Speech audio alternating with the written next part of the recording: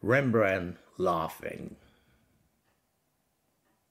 Somebody asks, How do you get to smile?